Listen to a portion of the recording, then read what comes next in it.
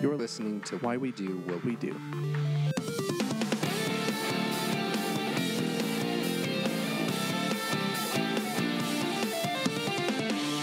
Hello and welcome to Why We Do What We Do. This is Abraham and my co-host, Ryan O. and we have a special guest today. Uh, her name is Lauren.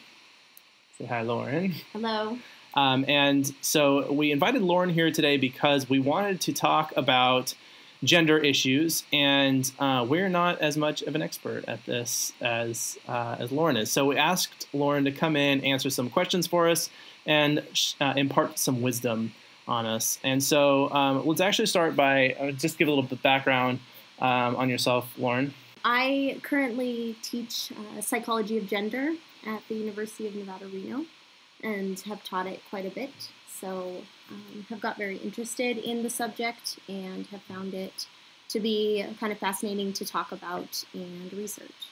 And so that was mostly just kind of thrown at you, right? You didn't like get your degree in gender studies or anything like that. No, no. Uh, my degree's in psychology. All right, so I don't know a whole lot about this topic, and one of the first things I ran into when I was looking around was that there's differences between sex and gender. So maybe we can start there. What do you think? Yeah, let's let's do that. Okay, so which which is so we're we're focusing on gender, so let's maybe start with sex. Like, what is that? Uh, so when people talk about sex, even though a lot of times this can be misconstrued, uh, generally you're talking about the biological makeup of an individual that makes them either male or female.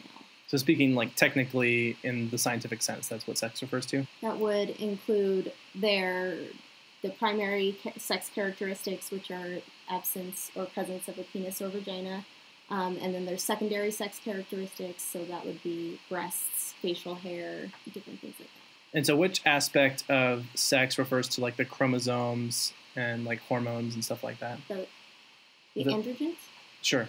Is that primary or secondary? uh, primary. Okay. And so okay, What- s- what's an androgen? Androgen is just the uh, blanket term to refer to either testosterone or estrogen or any other hormones that a person might have in their body. Okay, perfect. Mhm. Okay, so that's sex. and, yeah. how, and so that and this is different from gender technically speaking. So, gender is more the social constructs around uh, ways that we classify males or females. Uh, is completely dependent upon one's culture and social other psychological factors. Okay, what do you mean by psychological factors? This is essentially how a person identifies themselves. Okay. If that makes sense. And it may or may not, uh, so to speak, match with their biological sex. Okay. s- Uh, can you say more about that? So, in general, people will refer to a person's gender or people whose gender matches or does not match their biological sex will either be called uh, cisgender if you if your biological sex and your identified gender match Okay. uh, and transgender if they do not match. Uh, I hate using the word match just because it assumes that sex is black and white and gender itself is black and white. Right. So there's like Uh, a correct or incorrect answer to. Yes, Okay. essentially. Um, and most of the time, it's based on assumptions um, that, you know, I can see somebody and identify that they are either male or female and they are acting either like a male or a female. Um, so it depends, again, entirely upon cultural and social factors that uh, each person is a part of. Okay. So just to recap, then, sex is the biological characteristics that are either male or female, and gender is the social um, or cultural behaviors that are ident- that are re- referred to as either being masculine or feminine. Is that correct? Yes, although sex isn't, uh, although a little more clear cut, is isn't necessarily hundred percent clear cut as to whether someone's hundred percent male, hundred percent female. Just because there are a lot of chromosomal issues, there are uh, issues around the androgens that a person's exposed to. There, um, so for example, there's triple X syndrome that a female fetus might have. Um, Klinefelter syndrome is uh, XXY chromosomes, I believe. Okay. Um, And so, just for people who may not know, a typical, I guess you could call it typical if that's appropriate. typically developing Yeah. fetus. So if it was female, then it would just be an X, two X chromosomes, Yes. and a male would just have one X and one and an, uh, one Y chromosome, so an XY. Yes. And uh, so a, a triple X would be, um, as you were saying, just uh, what was that one called? Just triple. Oh, it's triple X. Okay, Return of Xander Cage. Um, so the triple X is where there are then three of the X chromosomes present, and then uh, what was the Klinefelters? uh, XXY. if they have that arrangement of chromosomes, do they how, how are they classified? Is that they fall into male or female? So with Klinefelter syndrome, the fetus is considered a male but is born with an extra X chromosome, and so they will likely um, again have a penis, but they might have uh, reduced muscle mass, less facial hair, less body hair as a result, um, and it can produce little or no sperm.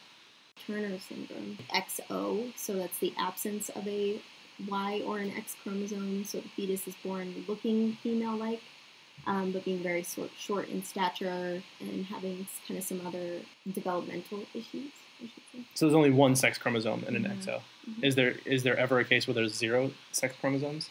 I don't think so. I think Okay. there's usually at least one. How many variations on like sex chromosome arrangements can you have? there's quite a few. Um, there are kind of the typical, so XXY Klinefelters. Um, there's uh, two Y chromosomes that people talk about, um, triple X, Tur- Turner syndrome, and then sometimes there are mosaics. So sometimes there end up being like four or more. Wow, Um, so a whole bunch of different sex chromosomes it's not exist. super common, but it does happen, which then puts that person in the situation where are you a male or female? And technically, if you're not XY or XX, um, a lot of times you fall outside of those societal standards of what you should be if you're embracing both masculine and feminine characteristics. Okay. Um, oh, that's a great question. So uh, one of the things I was going to um, ask is, for these people who have these sort of variations in their chromosome development, are they able to reproduce? It completely depends on the situation. Okay. Um, okay, so I guess just anything else. So let's move into. I want to discuss with you how we can understand like the behavior of individuals with respect to their sex and gender. So if someone's born um, biologically with a penis versus biologically with a vagina, uh, what can we what, what can we expect in terms of their behavior? What are to what extent are they predisposed Well, to behave one really way or another? um, depending on what they're born with. Has shown, and there are a lot of um, really good books out there if, if anyone's interested on gender. Um, Cordelia Fine has a book called Delusions of Gender that's really good. Um, Carol Tavris wrote Mismeasure of Woman. She talks a lot about the research around uh, gendered studies and how a lot of research has really kind of come at it from a very sexist perspective. It's called and, mansplaining. And then we Anne ended up Foster getting results that are very sexist. It's also very good. Uh, so historically, to, to answer that question, there you would get different answers depending upon the at the time at which you were born, essentially. So historically, there were a lot of assumptions that because one was born male or female, they were going to behave differently. Um, and research again around that time would kind of show that because there was a lot of male influence on what was going to be the outcome. Um, and you know, one's gendered expectations really showed up a lot in that research. Uh, however, today, and really what we're finding more and more is that it is incredibly difficult to make a decision about how biologically predisposed one is going to be to engage in certain behaviors, whether they are male or female, um, without considering the social constructions around essentially their life history. What they've been told is appropriate or not appropriate for their particular sex. So, Ryan, bring you in on this. What have you heard in terms of who's going to be better at like what? What who- male's going to be better at what? Female's going to be better at X. So Even if it's a stereotype, even if you know if it's wrong. What Yeah. what what, do you, what have you heard? What what exists out there? males are better at uh, anything that requires a lot more physical exertion, for Okay. example. whether that's working at a construction site Mhm. um, or sports related things, Mhm. right? Okay. That's one that I heard a lot growing up. Academic tasks, mental abilities, that sort of thing.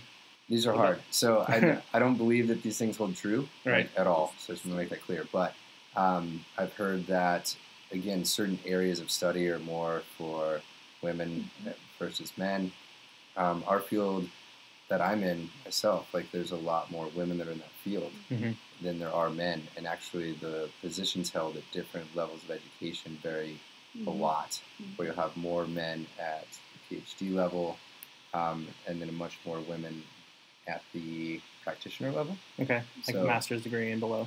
Yeah, or even, yeah, So, if you can speak to, is it reasonable to assume that someone will be stronger because they're male than female? Well, again, to go back to gendered expectations, a lot of times people are, especially parents, uh, new parents out there, are gendering whether they are meaning to or not. a lot of times, just by your reactions to one child over the other, um, dependent upon whether they're male or female. Um, and even just things like pushing them to uh, continue on in sports, for example, is more likely to happen for male children, which, you know, as a result could end up in uh, different outcomes for males and females. And currently and historically, this has always been the case that uh, males are physically stronger. Um, they tend to have more muscle mass, they tend to be able to lift more heavy things. But again, a lot of that can be based on the social constructions around how males and females are supposed to behave. Um, one really cool kind of analogy that Fausto Sterling actually uses in her book is she calls it like the unbound foot metaphor. And she talks about how, with respect to marathon running, for example, uh, males in around just after the 1900s started, they started actually running marathons. Um, and so for about 60 years past that, uh, a little less than 60, their women weren't allowed to participate. And so in the late 60s, I believe, uh, they did allow women to start running the marathon. And what was interesting is naturally the women's times were much higher than the males. Um, and even from like the males' kind of starting points when they first started running in the 1900s, uh, but their rate of decline for how fast they were getting uh, was much Uh, steeper. It was much steeper than the males had been over time. So decline meaning improvement in their running Yes, times. Exactly. And so her whole analogy and reason for using the unbound foot was talking about when you actually are allowing women to participate in things and you're actually promoting that they are able to do things similar to males. Uh, you see differences and you see their biology responding as a function of allowing them to participate in more sports and more um, activity levels, essentially. So the opportunity to actually practice the same skill reduces that sexual dimorphism, which is a term I guess we haven't defined yet, that refers to the extent to which in a species the male and female genders are physi- physiologically different from one another. Um, and in some species, there's a very large disparity in size, color, shape, various things. And in humans, most of us, the sexual dimorphism isn't isn't particularly apparent. Um, I- mean, it is to some extent. There are obviously some physical factors that are you know, so much more likely to show up in women: the presence of breasts, a vagina, that sort of thing. Um, but in overall size and shape, um, the the differences that exist exist primarily on average. Correct? Yes. And um, so, at, one one thing I've heard, and correct me if I'm wrong on this, is that the averages within a given like sex or gender are larger than the averages across the two. So there's more, Often. yeah, more variation in like height, weight, and size in, in males and in females than there is across the two in general. Like the overlap is Mhm. huge, Yes. um, and you could very easily have a woman who's taller, stronger, faster, and better in every way than a counterpart that would be male who just happens to be shorter, smaller, weaker, and, and maybe intellectually delayed in some way. And so, just having the uh, the genitalia does like just because you have a penis doesn't mean you're going to be good at anything. Yeah. Well, in Hall, um, Harriet Hall, who wrote who writes for the Skeptic magazine, she has a really great quote. She says, "Group gender differences or group differences, they tell us nothing about the individual." Okay, so so- I guess then the overall uh, sort of conclusion or take home from that is we can't really expect any type of be- anything in particular from someone just based on their sex. Is that correct? Based on their sex, no, but you can, depending on what culture they're raised in. Okay. Um, and it, you know that would be the same for if you raise a child in a religious household or a non-religious household. Um, those children are likely to embrace those same ideologies that they were raised with, and so if you see a heavy enforcement of gender roles where males are allowed to participate in a lot of activity, um, you know, maybe pushed to continue their education, and the female's kind of expected to just be a mother or be at home, you're likely to see those individuals behaving that way because of those expectations. Would you make the case then that how their parents respond to them when they're young has a major influence on how they turn out, like gender wise, as they grow older? Absolutely. Because I certainly I know that there are certain parents who have made the claim I you know I treated my children completely the same. Mhm. I didn't like limit them or, or talk to them any differently than one another, even though I had a boy and a girl. Mhm. And so, what what are your thoughts on that? Well, and again, uh, and uh, a lot of authors have kind of made this point too. It comes down to you're always going to be exposed to social roles. So even if you were able to control for the parenting being exactly the same, which it never really is, um, and some people do very well about keeping kind of very consistent rules around what you know children can and can't do. Um, they're still going to be part of a culture where they're expected to behave differently. They're going to have friends growing up who also will uh, reinforce essentially gendered norms. Um, they'll the kids very early on data show you know they play with uh, same gendered groups or same sex groups I should say, and they tend to do that kind of all throughout school. And What- so they're exposed to a lot of those expectations in some way, even if it's not via parents. And even before before we started recording, you had mentioned about how when like an infant were to fall over, um, how people treat them differently. And I know I heard about a study where they had a baby and they handed it off to different people, and they either pretended it was a boy or pretended it was a girl, and then people uh, reacted differently to it. Oh yeah, so quite a few researchers have actually done studies around this, but Seavey, Katz and Zalk, kind of following up from some talk of from Lois Gould, who talked about gender neutral parenting, kind of a fictional story. Um, they tried to see how people would behave differently if an infant, if they told were told that the infant was either male or female, or not told if of the gender of the baby, and essentially they behave differently um, in, with that child they were asked to interact with it and were given the option of choosing some different toys that they could use with the baby. And a lot of times with the male baby, they were more likely to choose the football shaped toy, even though it was a very tiny child. And with the female, kind of chose more um, dolls and different things like that. Uh, and what about the the uh, where like a kid like falls down, and um, and then the parents respond to it differently depending on whether it's male or female?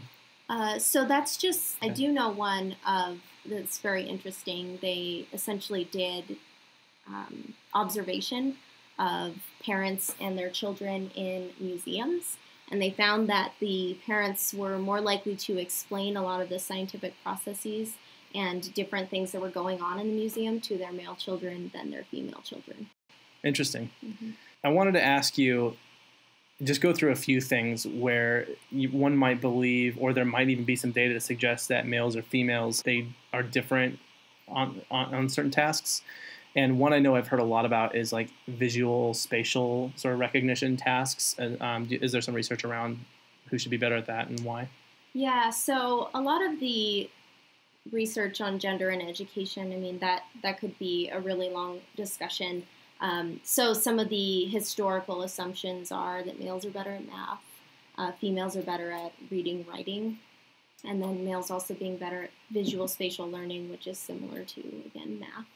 Um, and there, the data does suggest that and has suggested it for a while, but what you see is over time that gap is lessening and you see that as um, more females are admitted into higher level math classes, um, a lot of those gender expectations are kind of changing, and policies are supporting different uh, var- variety groups in classrooms, you see that gap just decreasing over time.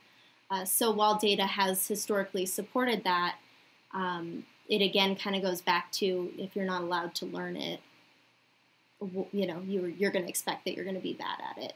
So Um, given the, given the opportunity to participate, everyone it ends up washing out and being pretty much the same. Exactly. Um, and Fine, in her book, actually uses a really good example. Historically, around the 17th century, there was a lot of discussion around whether women could be allowed in politics. And one excuse they kind of used for not having women in politics is that they didn't know about politics. Um, but then that went back to they weren't allowed to participate in it. So if you know nothing about something because you haven't been allowed to participate, um, yeah, you're going to know nothing about it when you come into the situation. So Well, and then let's go about the other direction in that shouldn't women then, uh, or one of the, the things you, you mentioned previously is that men are not as good naturally at being nurturing and being caregivers, and that women are naturally better at that. Is there some truth to that? Well, there's a lot of research around um, hormones and kind of like surge of hormones being linked to to mothers being very motherly uh, when their baby comes out, and even before that, when they kind of prepare for baby. Um, and that's not to say those hormones don't play a big role; they really do. But what's interesting, example, uh, Rosenblatt in 1967 did a study where they had some newborn rat pups, um, and they removed the mother and they put the father in that situation. Now the father rat like literally does it never participates in the parenting. And it also doesn't experience kind of this hormonal surge of maternal um, estrogen and all that kind of stuff. And the father in that situation, again, because these pups needed a parent, it started taking on all the roles that the mother usually did, which include a lot of licking. That's something that rats do a lot of when they're um, with their baby pups, and just trying to take care of them as much as possible. Wow, why do you think that is? Again, it's just uh, life circumstances. You know, you will behave differently, and the same can be said of just new fathers. Um, you know, you don't have to have birthed something to love it and to feel kind of that bond with it and to be able to take on those roles of nurturing. Women can also be non nurturing. Okay. Um, so, a good example, Mayor wrote a book on the Amazonian women. Um, and again, in this culture, the expectations were that everyone hunted. And so, what you saw was women got very, um, developed some kind of masculine features. They were very muscular, they looked very similar to the males in their culture.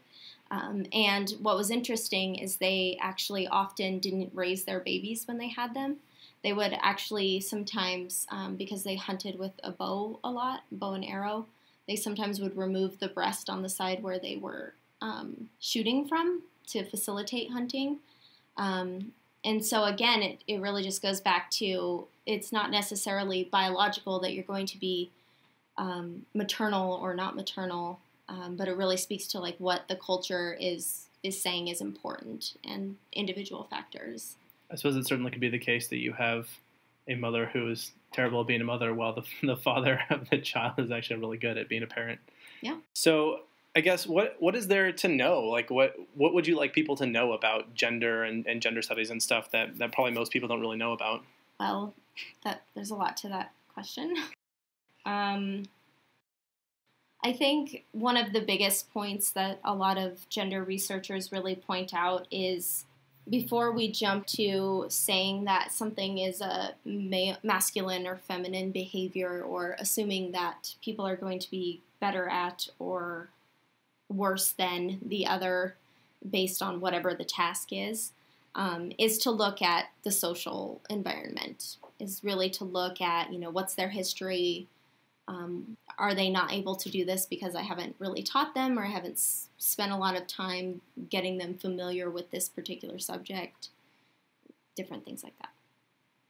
So I'd like to talk a little bit about sexuality, and mostly just in the sense of most people identify that there's homosexuality and heterosexuality, and that's kind of it. But as I understand it, there's a little bit more to it than that, and it's maybe as complex or more complex than the range in genders that can exist in terms of the chromosomal differences that can exist and even some of the physical differences that can exist Um, and uh, so let's actually talk about like what what is sort of the range in gender that can exist and how that might be different again, across different cultures, and then the range of sexuality and how that can be different even within a culture.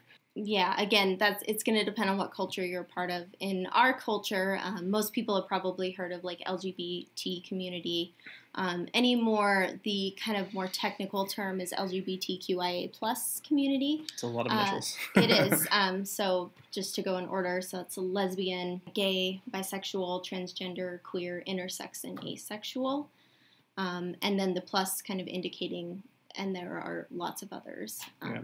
And really, this community is, is trying to point out that there are many different sexualities, and people can identify as, you know, any either of those. and within that, I- know that there's even some variation in terms of you might have someone who identifies as heterosexual, but even that doesn't mean the same thing for every person who identifies as heterosexual. If we have two males who identify as heterosexual, one might be might have like a particular fetish, Mhm. or one might be um, that they're heterosexual, but they don't particularly actually enjoy having sex, and so they don't have they maybe choose a celibacy. Mhm. Um, so, and what what are some other variations that might exist, or like what's what, what kind of range could you even look at that would be differentiation? So a lot of times researchers have, and they've done a good job, but it, it just points out how complicated it is. Um, they talk about sexuality as a spectrum. And so ranging, just really pointing out that every person's going to be very different and is going to identify uh, differently than another person. Um, and really, uh, what's interesting too is I've come into contact with students who will ask things, usually about individuals who identify as transgender. They'll say, you know, what do I call this person? And I will kind of ask them, you know, okay, so let's take an example here. Um, you meet a person named Robert, and uh, sometimes with your history, you know that people named Robert go by either Rob, Bob, Robert. Uh, maybe they go by their middle name. There's kind of a variety there. Um, and under those circumstances, you essentially just ask them what they want to be called. And so I, I will tell them a lot of times that it's just asking, ask what they want to be called and call them that. Uh, and still, a lot of times people will still say, well, but what do I say? Do I say he or she? And it's like, you need to ask that person. And it's going to depend entirely on that person. Some people will um, identify as uh, transsexual or transgender, and you know either they'll want to be called um, of the gender they're portraying or not. Uh, it completely depends on the person, and probably the most compassionate response is just to ask that person what they want to be called and how they like to be addressed. Um, some groups that meet will go by, they'll introduce themselves, kind of like if you're doing a round robin of saying, you know, my name is Jennifer. Um, they'll also then interject the correct gendered pronouns that they would use. So I'd say, my name is Jennifer, she, her, for Okay. example. And so whenever you refer to that person, that that's the gender pronouns they want you to use. Just because you mentioned this a few times, it's the correct use is transgender and not transgen- transgendered. Correct? Yeah, so in general, it it implies just as I don't say I'm mailed or I'm femaled, it doesn't imply that it's just something that happened. It implies like an ongoing status. Okay. This is who I am. This is how I identify. And some people who uh, technically might be transgender, maybe they were born uh, biologically a male and later decided to have surgery to become a female, they might not identify as transgender. They might identify as a female because that's what they are now. And again, it all just depends entirely on the person. And some people always identify as transgender even if they don't don't go through the full surgery. yet. Okay. So it it's all about just being aware of what people want to be called and being nice about it essentially. That's just a funny way of thinking about it. My gender just happened to me. Is like hit in the face, boom, femaled. happened. And another one with respect to the whole sexuality thing is, uh, I mean, is it the case that males are just more sexually engaged, more sexually active? Like they, there's the whole stereotype of, well, and I think you can see this in going to bars that women get in free, Um, Mhm. because um, men are just walking erections looking for a female.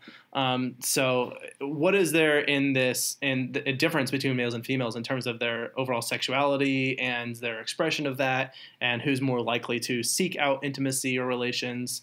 Um, you know, is there is there what is there any truth to the, the difference there? Uh, there might be like, and that's the thing with gender stereotypes. They might hold up almost 100% of the time, but it doesn't explain how each individual identifies. Another thing, a big thing with uh, talking about sex research is that's all based entirely on self-report data. Um, and again, going back to the um, this history of like it being okay for males to seek that out and it being less okay. I would say today it's a little bit different, Mhm. but f historically, women weren't allowed to be interested in sex, and they weren't allowed to really talk about being interested in sex. Uh, and so, what you see is it's okay for a male to report that they t- think about sex a lot, but for a woman, when you're asked about sex and you know that that's not okay to talk about, you're less likely to report it, even if maybe you do actually think about it maybe as much as a male does. So, again, depends entirely on those social constructions around sexuality and how one's allowed to express it and talk about it. Um, and some other things I was uh, I was thinking about are like what what kind of I, I want to say like mental diagnoses like depression and suicide and things like that how that also shows up differently um, across the genders. Yeah, so uh, one study that, that I really like to quote a lot is uh, Salonkagas and colleagues. Um, they looked actually at the measurement tools, so specifically the BDIs, the Beck Depression Inventory, and the DEPS. Um, Sorry, can you say that name again? Oh, Salonkagas. It's a really fun name. Uh, yeah, I might be saying it uh, wrong, but they look. So they looked at these two depression inventories, which are used frequently to determine if someone is clinically depressed.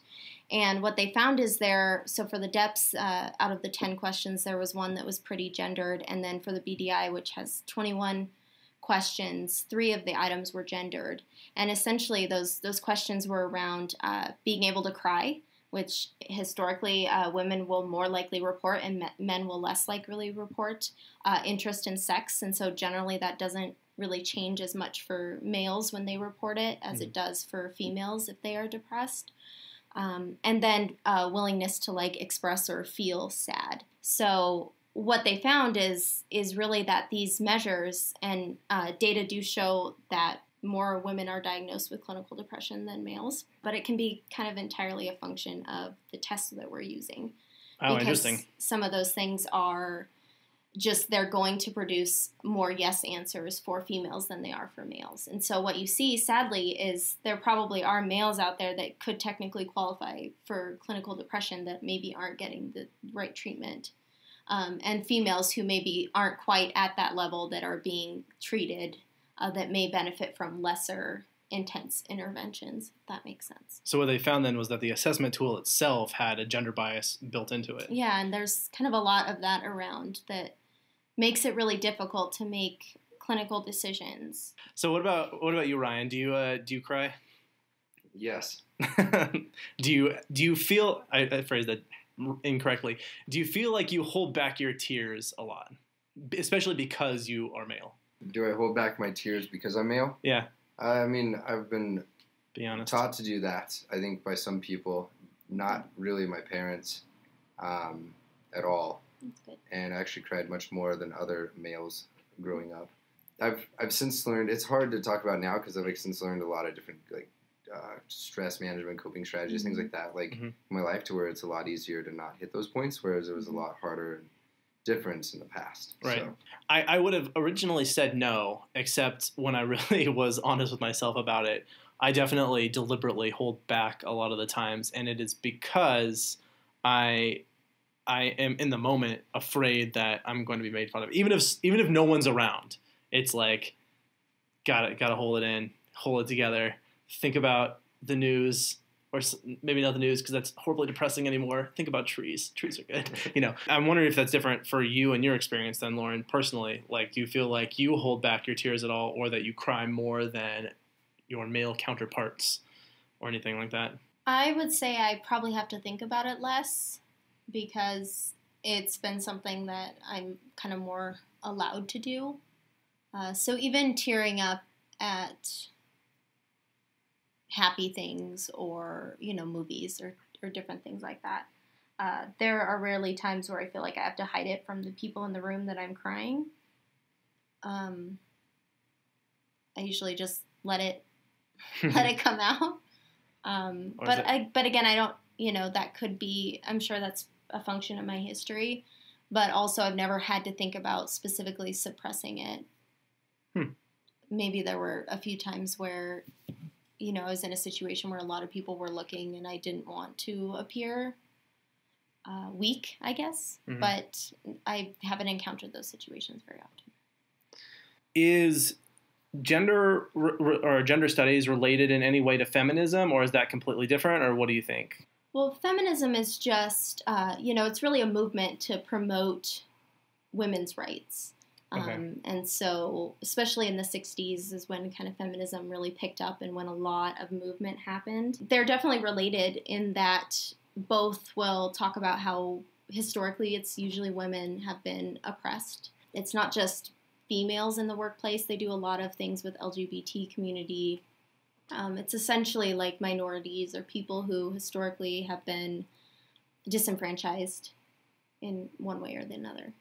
It gets um, more you see more feminism. dimorphism like at higher le- so like how Ryan talked about like PhD level or MDs are more likely to still be male, and then Mhm. Fortune 500 companies. What is it? One to five percent are actually ran by women. You Okay. still see those big gaps, and like you still see more female nurses, and um, actually that kind of gets into some of that um, transgender individuals' experiences. So there's a lot of experiences where males as nurses you get promoted faster because they're like, oh, you shouldn't be here, and then females who kind of remain. But for specifically, um, so Connell just did this. She interviewed a bunch of transgender individuals in their workplaces, and they talked about um, the situations that were most cool were when their coworkers didn't know that the person was either male or female prior to coming into the experience. And so you see, like, one female that um, became a male, she was a security guard, and he, I should say. And then, so was fine at that level, but then later, once he was officially a he, a bunch of people were like, you shouldn't just be a security guard, you should be a police officer. And so, like, you see just all those different experiences, and it was kind of cool because with transgender individuals, you can kind of see that they lived on both divides. So they're able to see, like, in their own lifetime what that looked like versus, you know, Ryan has a different experience than I do. But I actually, like, lived through being treated differently, even though I'm the same person. So in Connell's uh, same article, there was an individual who um, was a scientist and was reporting kind of their scientific data. And they went from uh, female to male. And from, I think it was over the course of a couple years, What did they change their name to? they did change their name. Okay. And what was interesting is the first time the male presented their data, again, on all the same subject, everything, they had people come up and say, Man, this is really good. Um, your sister's work isn't as good, though. so they thought be, that the Mhm. other name that was the feminine name was this person's sister when it was the same person and it was the same work. And it, but, That's but it was a male, and even though it, everything was the same, they'd been doing the same stuff. Um, said that the sister's work wasn't as good as as uh, his was. So You know, something, uh, and we don't have to go into this if it's too far into the feminism territory, but there was the argument that women just make different career choices in life and that they don't make as much money because they stop to go have babies and or you know that's that the pay gap that exists really is only because women choose careers that don't pay as much. So can you speak to some of that? Or So- if you don't want to you don't have to but. Yeah, that's kind of a difficult territory only because when women do leave to have babies, that just naturally produces a gap where they're not getting promoted. Hmm Um, whereas if another person stayed at that company in that job for so long, they would just, you know, be making more and potentially get promoted over that period of time. Uh, so there is kind of some truth to the fact that women will make less if they're not present in the workplace. Um, but there still is a gap, uh, even if you kind of take out some of those factors, and especially when you get to high level positions. So I was just saying that the Fortune 500 companies, um, I can't remember current data, but I believe it's 1% to 5% are uh, run by female CEOs. So most of them are, are males. Most MDs, again, um, I believe are males. You still kind of see some of those those differences, and there are careers. I think Ryan kind of mentioned this a little bit. There's careers where you see more males than females, um, and you do really see that you know glass ceiling effect where um, the analogy is that uh, there's a glass ceiling, women can't break through it, but they can see what the top looks like, and mm-hmm. it's better than where they are. We, we talked a little bit about the sexual dimorphism in terms of physicality, size, shape, um, physical strength. Men tend to have more upper body strength, and and to an extent, there uh, there's also that uh, women tend to have smaller brains. And you, you, probably know a lot about this as well that brain size correlates to body size. Um, and we've talked we've talked about brains on this show a few times. And one thing that i don't know if we've actually mentioned before is brain size does not correlate to intelligence there's that aspect of it but there's a lot it's a lot more complicated than just size when it comes to like gender studies. So could you could you speak to some of the research especially the more recent research on neurology and how that shows us if if males and females are different um, in their brains and the sizes and how they work and all that sort of stuff? Yeah so historically uh, you guys probably already dispelled this but historically things such as uh, women's brains being smaller. They called it the missing five ounces of the female brain, and and used that as an example of why women weren't as smart. Again, this was in a time where they didn't teach women many things that the males knew, so you know, essentially just confirmed their theory. Things like uh, the corpus callosum being larger in males, they've used that to try to explain why males and females are smarter. Uh, males are smarter than females. Um, they also there was this one funny one where it was called the delicacy of the female brain fibers. They thought that if they pushed them too much to learn things, that those fibers would break. Let's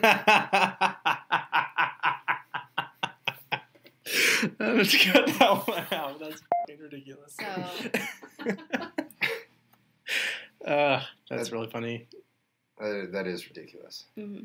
And, um, and I know that uh, the term hysteria refers to is uh, actually means the wandering womb in Greek. The mm-hmm. uh, you think of a hysterectomy as the removal of the uterus, or I guess the wandering uterus, and that uh, when someone is, is being hysterical, it is always a woman, and it is because her uterus is wandering aimlessly around her body, and so she is freaking out. She's throwing a fit. Um, she's hysterical um, because she's because uh, her uterus is is on a walkabout. And that goes right along with uh, data on PMS and oh, menstrual yeah. issues. Um, that's also been an excuse for a long time as to why women can't participate in things, is they might make bad decisions when they are on their period. All right. So what else goes on with brain and gender?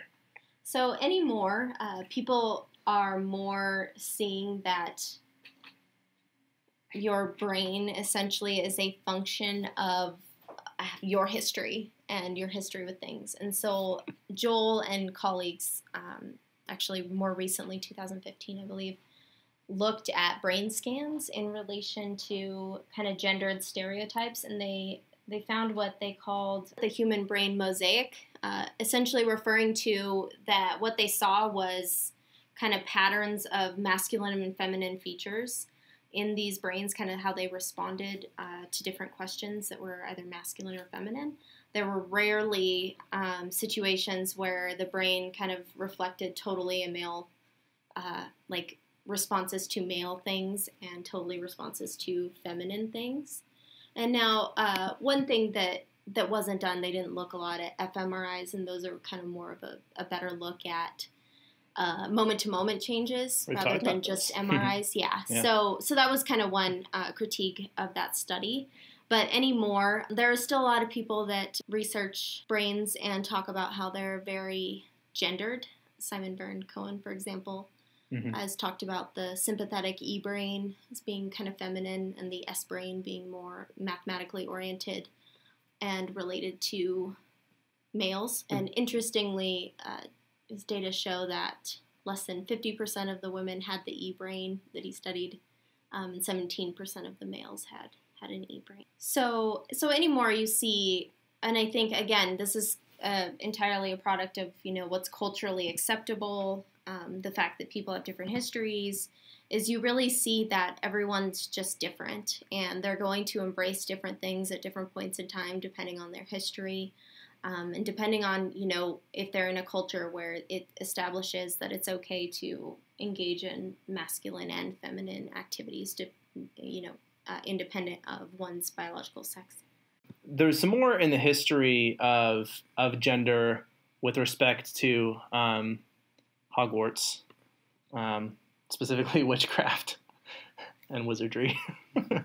um, so, can you speak a little bit about uh, the issues in gender with respect to like this idea of witchcraft and witches and that sort of thing? Yeah, so Bever did a really excellent kind of uh, article uh, looking kind of at the data around witchcraft and actually dispelling. So, for instance, I'll just ask you guys. So, what what are some things you think of when I say, you know, what what is a witch, or who is a witch? What are some features of a person that might be a witch? tempted to think of Maggie Smith, but going to the like Halloween store stereotype of a witch, I'm imagining warts and green skin, similar to the Wizard of Oz depiction, hunched old haggard woman with a pointy hat and a black cat who rides a, a broom, like Hocus Pocus. Anything That was like else? three movie references in 30 seconds. I think you described my what I see a witch as. Yeah. Yeah. So, so in general, they they were thought of like old. Um, Mhm. You mentioned that. Uh, usually, they were also thought of to be very poor and kind of outside of their community and not really participating in things. Mhm. But really, what they found uh, data on witchcraft, and interestingly, this didn't happen as frequently. Um, but there were communities where more males were accused of witchcraft. Um, it's purely a, a function of wherever you were at the geographical location and what was happening at that time. Uh, but what they found is uh, the people that were more likely to be accused of witchcraft were females, but it was totally around economic situations. So um, these women tended to be married, um, and they were integral parts of their community, which I think really resulted in why those conflicts were happening. Is someone, you know, so to speak, pissed me off, and now if I accuse them of witchcraft, that's a really big uh, thing that can result in that threat being gone. And again, they weren't necessarily poor, they were generally middle class. So when you look at their actual data of what these people actually were, um, our conceptions of what witches were is very different. And it's totally dependent upon just what was going on at that specific point in time. And uh, this, I think, really what came of this too is one reason why perhaps females were more likely to be accused of witchcraft was there weren't a lot of appropriate outlets uh, to engage in revenge or to get back at somebody uh, around, uh, for example, so women aren't really allowed to be physically aggressive. Uh, whereas males, you know, if they had a, a beef with somebody, for example, they might just, you know, fist fight or have a duel or different things like that. Right, and I Whereas- duel a lot. Yes. Well, and historically, that's never been appropriate for women. And so a lot of times what you see is women engaging into kind of more of that verbal conflict. And witchcraft was a really, really effective way of getting rid of your threat. You mean accusing someone of witchcraft? Yes. Okay. So I guess I just want to make sure that I'm summarizing this appropriately and some of the things that we've discussed around issues of gender and you know I guess feminism and um, equalities is wrapped up inside of this and some of the issues that arise around what it means to be a, a part of a gender identity and how that can affect your behavior and the how people react to you is that first of all to make the distinction that sex refers to only the biological characteristics and gender refers to how one identifies with respect to the cultural expectations that are associated with that sex okay so you have those masculine behaviors and that those are really uh, what shows up for people in terms of identifying as either male or female or masculine or feminine is influenced by what are the circumstances of their culture and their upbringing and the, the how people react and respond to them what are the expectations are for them and it just it just depends. And it, it could be anything. So if in one culture something is depicted as being masculine and another culture that might be depicted as being or that might be uh, viewed as feminine and vice versa. So what is a particular gender is not a black and white thing. It only is it, it, just depends on the culture and the times of that culture because even across the culture it can shift.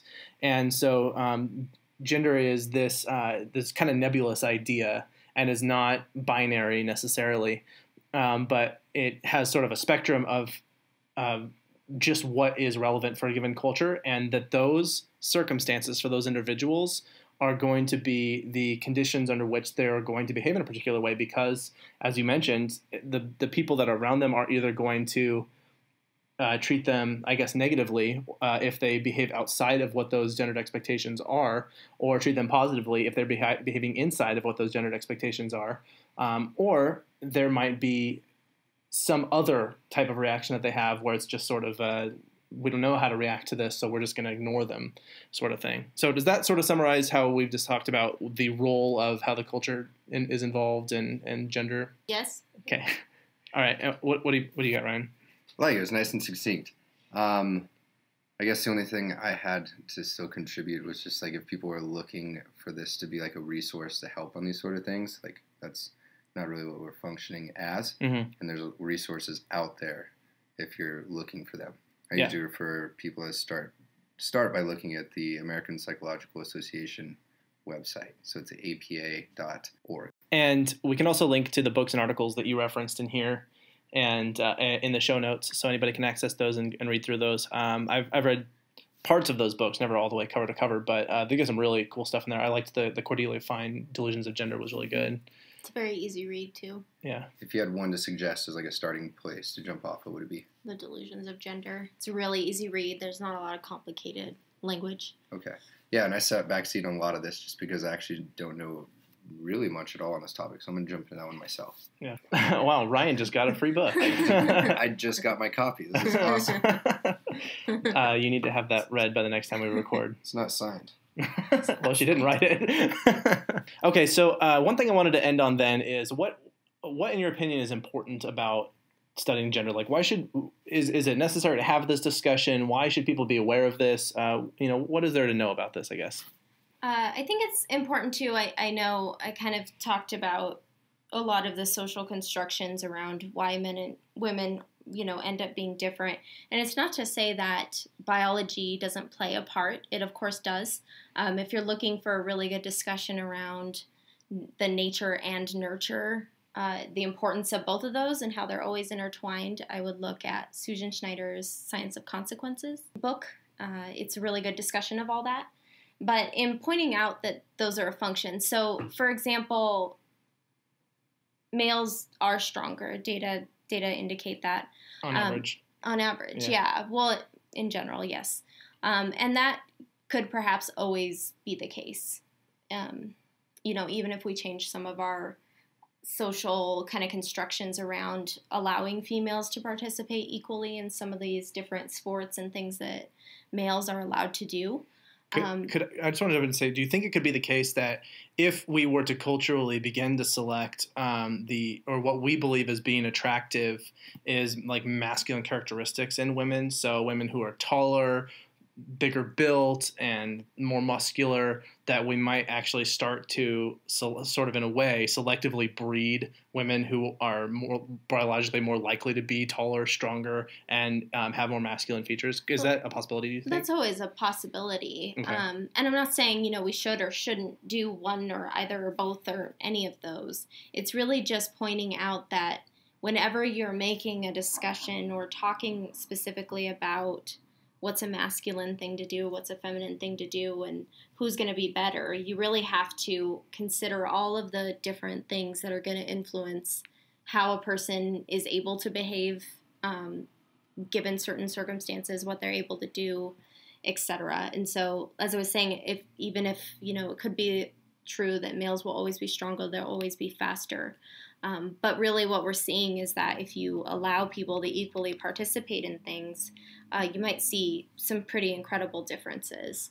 So it's just important to point out that it's not just biology. It, really is a lot of those social constructions around how people are allowed to behave that influence our biological makeup and our structure and whether I have more muscle mass than um, Ryan, for example. Cool. All right. Uh, I mean, thank you very much for taking the time to be with us today and share your expertise in this area. Um, I definitely learned a lot. And um, I mean, do you have anything else you want to close out with? Not really. Uh, there's there are a ton of resources around. You know, if if you feel like you're a member um, or might be a member of the LGBTQIA plus community, there are so many resources out there um, that are really amazing. And so, if, if you were listening to this kind of for that reason, um, I would just really seek out a lot of those um, different different resources in your community. Do you want to be available to people to like email and ask questions or what we can actually let's do this.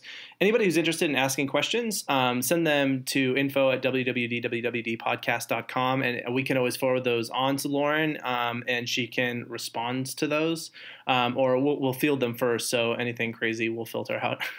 Um, but reasonable questions if that's okay we can pass those on and you can potentially answer some questions maybe even just provide some links to resources or whatever so. Mm-hmm. cool. Cool. All right. Well um, just to wrap up, I guess, with uh, unrelated to that, um, is for anybody who has been listening and enjoying the show um, and you want to help out but maybe don't have a lot of money like me. Um, you can always go uh, one thing that really helps is just subscribing to the podcast. That really helps the algorithm out that puts it up so that it, people, more people are likely to hear it which means that uh, we're more likely to show up in those feeds and, and reach more people. That's always great. Um, if you uh, like the show and want to leave a positive review we always appreciate that sort of thing. Um, in itunes um, even anything short you know, a couple sentences uh, is is totally great. That really helps uh, helps us with the, with the algorithm that shows up on iTunes and, and other you know Google Play wherever you listen to this. I keep saying iTunes, but there's a lot of different places you could be listening to this. Um, that any anything you leave as a review really helps out the show. So um, that's uh, that's all we got for now. I think. Yeah. Cool. Thanks for everyone's time and listening. Yeah, and again, thanks for Lauren for being here. Abraham, and Lauren, and Ryan O. Signing off.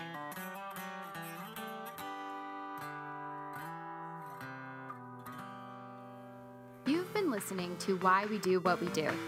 Why We Do What We Do is supported in part by ABAI's Disseminating Behavior Analysis Special Interest Group and our amazing listeners. If you like what you heard, consider heading to our Patreon account at patreon.com slash www.wwd podcast. Anything helps, and we are continuously lining up perks and merch for our supporters. If you have any comments or questions, we'd love to hear from you. Find us at WWD on your favorite social media platforms. You can learn more about this and other episodes by going to www.wwdpodcast.com. There, you'll find links as well as detailed and shareable show notes. Why We Do What We Do is Abraham, Ryan O, and Miranda. Artwork and logo design by Andrew Pollock at nogdesigns.com video and production assistance from Tyler Bessire, with music courtesy of Justin Greenhouse. Brendan Bohr does our episode art. Thanks for listening, and we hope you have an awesome day.